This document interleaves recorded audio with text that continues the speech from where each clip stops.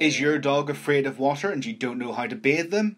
In this AnimalWised video, we explain the steps you need to follow to give a bath to a dog afraid of water.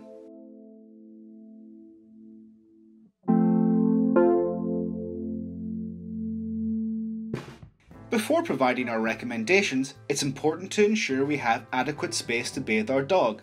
If not, we can go to a groomer who is well versed in the practice of bathing dogs. Not only do they have all the equipment and space to bathe the dog comfortably, they have the experience and training to ensure they keep the dog calm and maintain their well-being. They will employ the advice we give you now in the rest of this video. Convey security. The first thing we have to do is provide a safe and relaxed environment.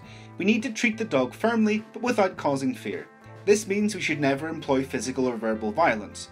We need to handle the dog so they know what we are doing and that we won't hurt them. Instilling confidence is important to accomplish this, as is avoiding loud noises or making them nervous.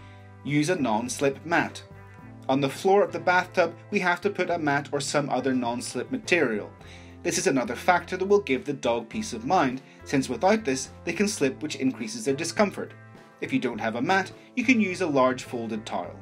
Reassure them in the bathtub. Before starting the bath, we must keep the dog calm in the tub. To do this, we can pet them affectionately, speak reassuringly, and give them treats and rewards for their good behaviour.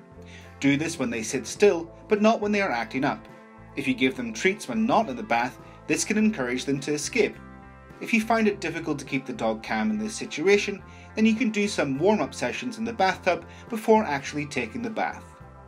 In this video, we share some professional advice of how to bathe your dog for the first time properly. Turn the faucet on slowly. Once you have reassured them, we can start to turn on the water. Some dogs will get fidgety or anxious at this point, especially if we turn the water on quickly. This is why we should turn the tap or faucet at its lowest pressure.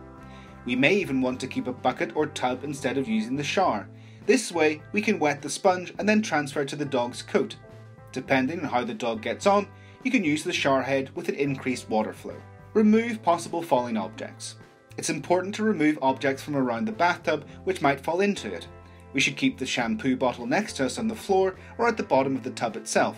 If something falls, it might scare the dog and undo all of our good work in reassuring. Start wetting them from top to bottom. We should begin to wet the dog on the legs, then work our way up to the chest. There are dogs which may have been originally scared, but find the water quite relaxing at this point remember to reward them only when they are sitting still. If they become restless, we should start over by getting them to sit still and then continuing with the water. This is important to avoid associating the bathroom with negative experiences. If they are nervous, but we force them to continue with the bath, the situation will only get worse. A relaxed atmosphere must be fostered at all times. From the chest, we can go over to the back and tail. The last parts are the belly and the head. It won't be necessary to wash their face as this can scare them. We can do this at the end by cleaning them with a wet towel. If the dog wants to be seated, respect their wishes, even if this means the bath isn't perfect.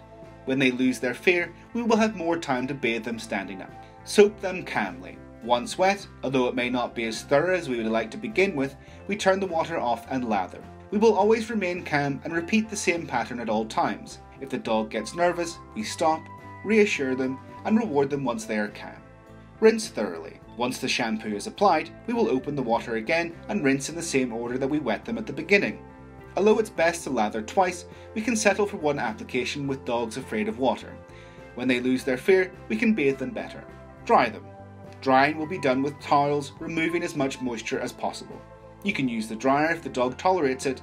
If not, we will reassure them to keep them still, rewarding them when they accept and stopping when they are nervous. With these tips, we should begin to observe an improvement. However, if despite everything the dog does not lose any of their fear, we must seek professional advice from a veterinarian, ethologist, or canine educator. Tell us, does your dog like to get bathed or are they afraid of water? Leave us a comment and we'll see you next time.